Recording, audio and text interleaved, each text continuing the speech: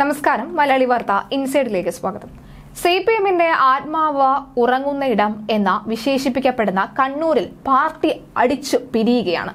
പിണറായിക്കെതിരെ P ജയരാജനും P ജയരാജനെതിരെ പിണറായിയും പരസ്പരം വൈരാഗ്യത്തോടുകൂടി പോരടിക്കുമ്പോൾ കണ്ണൂരിലെ പാർട്ടിക്ക് ഇരുവരും ചേർന്ന ചരമഗീതം എഴുതുന്നു എന്ന് ഉറപ്പിക്കാം. പിണറായി സർക്കാരിനെ അട്ടിമറിക്കാൻ ശ്രമിച്ച പേരിൽ പി ജയരാജനെതിരെ സി പി എം നടപടിക്കൊരുങ്ങുമ്പോൾ പിണറായിയെ മുഖ്യമന്ത്രി സ്ഥാനത്ത് നിന്നും താഴെ ഇറക്കാനാണ് പി ജയരാജൻ ശ്രമിക്കുന്നത്. ടി പി ചന്ദ്രശേഖരൻ കേസിലെ പ്രതികളെ ജയിൽ മോചിതരാക്കാൻ ശ്രമം നടത്തിയതിന്റെ പേരിലാണ് പി ജെക്കെതിരെ പിണറായി പക്ഷം നടപടിക്ക് നീങ്ങി തുടങ്ങിയത്. ഡിവൈഎഫ്ഐയിൽ നിന്നും പുറത്താക്കിയ മനു തോമസ് ജയരാജനും മകനുമെതിരെ ഉന്നയിച്ച ആരോപണങ്ങൾ അന്വേഷിക്കുവാനും സർക്കാർ തീരുമാനിക്കുമെന്ന് കേൾക്കുന്നു.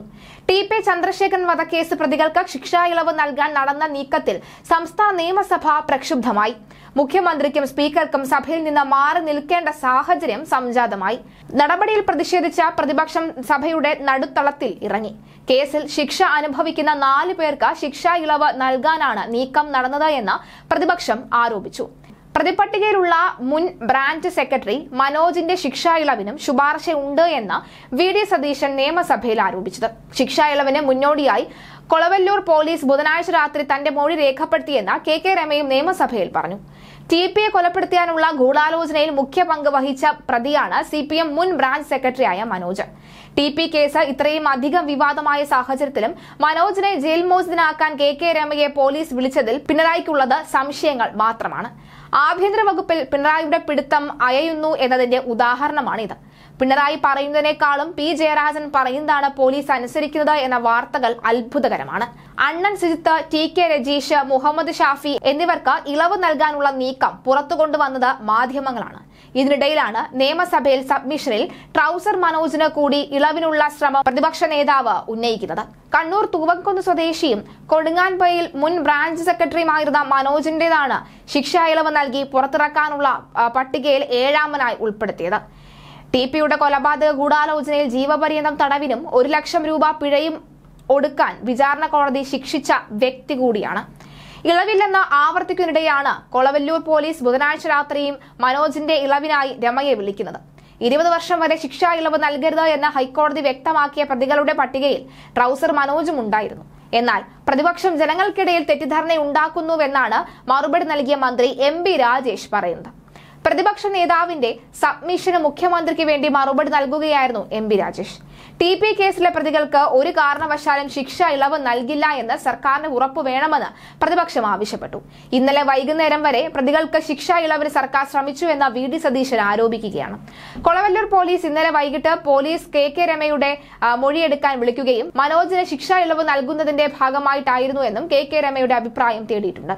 സർക്കാരിന് നാണമുണ്ടോ എന്നും പ്രതിപക്ഷ നേതാവ് നിയമസഭയിൽ ചോദിച്ചു. അതേസമയം പുതുക്കിയ ശിക്ഷ ഇളവ് പട്ടിക സർക്കാരിന്റെ പരിഗണനയ്ക്ക് എത്തിയിട്ടില്ല എന്ന് മുഖ്യമന്ത്രിക്ക് വേണ്ടി എം പി രാജേഷ് മറുപടി പറയുന്നു. പട്ടിക ലഭ്യമാക്കിയത് ജയിൽ മേധാവിയാണ്. അനർഹർ പട്ടികയിൽ ഉൾപ്പെടുത്തുന്നാൽ പുനർപരിശോധിക്കാൻ ആവശ്യപ്പെട്ടു. മാധ്യമ വാർത്ത ശ്രദ്ധയിൽപ്പെട്ടപ്പോൾ തന്നെ സർക്കാർ ഇടപെട്ടുവെന്നും എം രാജേഷ് പറഞ്ഞു. ഇന്ത്യൻ സ്വാതന്ത്ര്യത്തിന്റെ എഴുപത്തിയഞ്ചാം വാർഷികത്തോടനുബന്ധിച്ച് വിവിധ ജയിലുകളിലെ തടവുകാർക്ക് ശിക്ഷാ ഇളവ് നൽകാൻ സർക്കാർ തീരുമാനിച്ചിരുന്നു. ഇതിന്റെ അടിസ്ഥാനത്തിൽ ശിക്ഷാ ഇളവ് അല്ലെങ്കിൽ അകാല വിടുതൽ നൽകുന്നത് സംബന്ധിച്ച് ഇരുപത്തിയഞ്ച് പതിനൊന്ന് രണ്ടായിരത്തി ഇരുപത്തിരണ്ടിലെ സർക്കാർ ഉത്തരവിലെ മാനദണ്ഡ പ്രകാരം പരിഗണിക്കേണ്ട തടവുകാരുടെ പട്ടിക ജയിൽ മേധാവി സർക്കാരിന് ലഭ്യമാക്കിയിരുന്നു. പട്ടികയിൽ അനർഹർ ഉൾപ്പെട്ടതായി കണ്ടതിനാൽ മാനദണ്ഡങ്ങൾ കർശനമായി പാലിച്ചുകൊണ്ട് പുതുക്കിയ പട്ടിക സമർപ്പിക്കുവാൻ ആഭ്യന്തര അഡീഷണൽ ചീഫ് സെക്രട്ടറി മൂന്ന് ആറ് രണ്ടായിരത്തി ഇരുപത്തിനാലിന് ജയിൽ വകുപ്പ് മേധാവിക്ക് നിർദ്ദേശം നൽകിയിരുന്നു. പ്രത്യേക ഇളവ് അനുവദിക്കരുത് എന്ന കോടതി പ്രഖ്യാപിച്ചിട്ടുള്ള കേസിൽ ഉൾപ്പെട്ട പ്രതികൾക്ക് നിലവിലെ മാനദണ്ഡ പ്രകാരം ശിക്ഷാ ഇളവിന് അർഹതയില്ല. നമ്പർ എണ്ണൂറ്റി അറുപത്തിയേഴ് ബാർ രണ്ടായിരത്തി പന്ത്രണ്ട് കേസിലെ ശിക്ഷാ തടവുകാർക്ക് ഇരുപത് വർഷം തടവ് പൂർത്തിയാക്കും മുമ്പ് ഇളവ് അനുവദിക്കരുത് എന്ന ഹൈക്കോടതി ഉത്തരവ് നിലവിലുണ്ട്. എണ്ണൂറ്റി അറുപത്തിയേഴ് ബാർ രണ്ടായിരത്തി പന്ത്രണ്ട് നമ്പർ കേസിൽ ശിക്ഷിക്കപ്പെട്ട തടവിലുള്ളവരുടെ ശിക്ഷാ ഇളവ് സംബന്ധിച്ച് കണ്ണൂർ സെൻട്രൽ ജയിലിൽ സൂപ്രണ്ട് പോലീസ് റിപ്പോർട്ട് തേടിയത് മാനദണ്ഡ പ്രകാരമല്ല ഇത് സംബന്ധിച്ച മാധ്യമ വാർത്തകൾ ശ്രദ്ധയിൽപ്പെട്ടയുടൻ തന്നെ സൂപ്രണ്ടിന്റെ വിശദീകരണം ജയിൽ മേധാവി തേടുകയും ചെയ്തിരുന്നു. പ്രസ്തുത കേസിലെ പ്രതികളെ ഒഴിവാക്കി ശിക്ഷാ ഉള്ളവരുടെ അന്തിമ പട്ടിക സർക്കാരിൽ നൽകുമെന്ന് വ്യക്തമാക്കി ഇരുപത്തിരണ്ട് ആറ് രണ്ടായിരത്തി ഇരുപത്തിനാലിൽ ജയിൽ മേധാവി പത്രക്കുറിപ്പും നൽകിയിരുന്നു. ശിക്ഷാ ഇളവിന് പരിഗണിക്കുന്ന തടവുകാരുടെ വിവരങ്ങൾ ആരാഞ്ഞ് കണ്ണൂർ സെൻട്രൽ ജയിലിൽ സൂപ്രണ്ട് ജില്ലാ പോലീസ് മേധാവിക്ക് നൽകിയ കത്തും ഇക്കാര്യത്തിൽ ജയിൽ ഹെഡ്ക്വാർട്ടേഴ്സിലേക്ക് ജയിൽ സൂപ്രണ്ട് നൽകിയ വിശദീകരണവും മാധ്യമങ്ങൾക്ക് ലഭിക്കുന്ന സ്ഥിതി ഉണ്ടായിട്ടുണ്ട്. ഇതുൾപ്പെടെയുള്ള കാര്യങ്ങൾ സർക്കാർ ഗൌരവമായി പരിശോധിക്കുന്നതാണെന്ന് മന്ത്രി പറയുന്നു. സർക്കാർ അതീവ രഹസ്യമായി സൂക്ഷിച്ച രേഖകൾ ചോർത്ത് നൽകിയത് പി ജയരാജന്റെ വിശ്വസ്തരാണ് എന്ന കഥയും വരുന്നു. പിണറായിക്ക് പണി കൊടുക്കുകയായിരുന്നു ഉദ്ദേശം. തെറ്റായ പട്ടിക തയ്യാറാക്കി പോലീസ് റിപ്പോർട്ട് തേടിയതിന് ഉത്തരവാദികളായ കണ്ണൂർ സെൻട്രൽ ജയിൽ സൂപ്രണ്ടിന്റെ ചുമതലയുള്ള joint superintendent K S Sreejith assistant superintendent grade ഒന്ന് Sri B G Arun assistant prison officer Sri O V Raghunathan എന്നിവരെ അന്വേഷണ വിധേയമായി സർവീസിൽ നിന്നും സസ്പെൻഡ് ചെയ്യുകയായിരുന്നു. ഇവർ സി പി എമ്മുകാരും പി ജയരാജന്റെ വിശ്വസ്തരുമാണ് എന്ന് മനസ്സിലാകുന്നു. പി ജയരാജനും സി പി എം കണ്ണൂർ ജില്ലാ കമ്മിറ്റിയിൽ നിന്ന് ഒഴിവായ മനു തോമസും തമ്മിലുള്ള പോര് മുറുകുകയുമാണ്. മനു തോമസിനെ പിണറായി വിലക്കെടുത്തു എന്നാണ് കണ്ണൂർ സഖാക്കൾ പറയുന്നത്. പി ജയരാജനെതിരായ മനു തോമസിന്റെ ഫേസ്ബുക്ക് പോസ്റ്റിന് മറുപടിയുമായി ആകാശ് തില്ലങ്കേരി ഇന്നലെ രംഗത്ത് വന്നിരുന്നു. ഈ ഭീഷണിക്ക് ഫേസ്ബുക്ക് പോസ്റ്റിലൂടെ തന്നെ മനു തോമസ് തിരിച്ചടിക്കുകയും ചെയ്തു. ടി പി വധവും ഷുഹൈബ് വധവും ഓർമ്മിപ്പിച്ചാണ് ഫേസ്ബുക്ക് പോസ്റ്റ്. ഓഞ്ചിയവും എടയന്നൂരും വിപ്ലവമല്ല വൈകൃതമായിരുന്നു എന്നാണ് പി ജയരാജന്റെ സംവാദത്തിന് ക്ഷണിച്ചപ്പോൾ കൊട്ടേഷൻ സംഘം ഭീഷണിയുമായി വന്നതിൽ ആശ്ചര്യമില്ല എന്നും കൊല്ലാനാവും പക്ഷേ നാളെയുടെ നാവുകൾ നിശബ്ദമായിരിക്കില്ല എന്നും വ്യാജ സൈന്യങ്ങളെ തെല്ലും ഭയമില്ല എന്നും സംഘടനയെ സംരക്ഷിക്കാൻ കൊട്ടേഷൻ സംഘത്തെ ചുമതലപ്പെടുത്തിയിട്ടുണ്ടോ എന്ന നേതൃത്വം പറയണമെന്നും മനു തോമസ് ആവശ്യപ്പെട്ടിരുന്നു. സി പി എം ജില്ലാ കമ്മിറ്റിയിൽ നിന്ന് ഒഴിവാക്കിയ മനു തോമസിന് ഫേസ്ബുക്കിലാണ് ഭീഷണി ഉണ്ടായത്. ഷുഹൈബ് വധക്കേസ് പ്രതി ആകാശ് തില്ലങ്കേരിയാണ് മനു തോമസിനെതിരെ രംഗത്ത് വന്നത്. പാർട്ടിക്കെതിരെ എന്തും വിളിച്ചു പറയാൻ പറ്റില്ല എന്ന് ബോധ്യപ്പെടുത്താൻ വലിയ സമയം വേണ്ടെന്നും കൂടെയുള്ളവർക്കും മാധ്യമങ്ങൾക്കും സംരക്ഷിക്കാൻ കഴിഞ്ഞെന്ന് വരില്ല എന്നുമാണ് ആകാശ് തില്ലങ്കേരി ഫേസ്ബുക്കിൽ എഴുതിയത്. റെഡ് ആർമി എന്ന ഫേസ്ബുക്ക് ഗ്രൂപ്പിൽ വന്ന ഒരു പോസ്റ്റ് താഴെ ഇട്ട കമന്റിലാണ് പ്രതികരണം.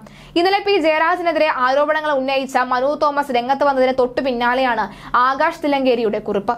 കൊട്ടേഷൻ സംഘങ്ങളും പാർട്ടി നേതാക്കളും തമ്മിലുള്ള ബന്ധമെന്ന ആരോപണം വീണ്ടും ചർച്ചയായതിനു പിന്നാലെ ഫേസ്ബുക്കിൽ പി ജയരാജൻ മനു തോമസും ഇന്നലെ ഏറ്റുമുട്ടിയിരുന്നു. ആരെങ്കിലും ലക്ഷ്യമിട്ട് തെറ്റായ ആരോപണം ഉന്നയിച്ചാൽ പാർട്ടി കൂട്ടുനിൽക്കില്ല എന്നും തിരുത്തേണ്ടത് മനു തോമസ് ആണ് എന്നുമായിരുന്നു ജയരാജന്റെ പോസ്റ്റ്. ജില്ലാ കമ്മിറ്റി അംഗം ആയതിനു പിന്നാലെ വ്യാപാര സംരംഭങ്ങളിൽ നിന്ന് ഒഴിവാക്കണമെന്ന നിർദ്ദേശം മനു പാലിച്ചില്ല എന്നും ഒരു വിപ്ലവകാരിയുടെ പതനം മാധ്യമങ്ങൾ ആഘോഷമാക്കുന്നത് സി പി എം വിട്ടതുകൊണ്ടാണ് എന്നും ജയരാജൻ വിമർശിച്ചു. പിന്നാലെ ജയരാജനെതിരെ രൂക്ഷ പ്രതികരണവുമായി മനു തോമസ് ഫേസ്ബുക്കിൽ കുറിപ്പിടുകയായിരുന്നു.